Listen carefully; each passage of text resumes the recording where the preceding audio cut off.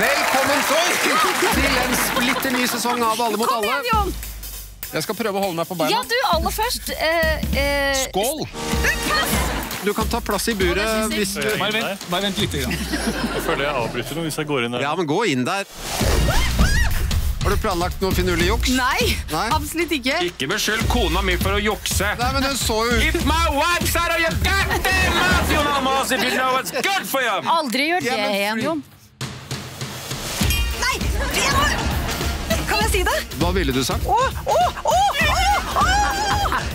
Månelandingen! Dette er det flaueste!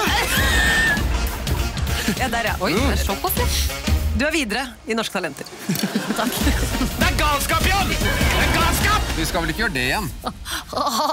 Aldri Aldri. mer!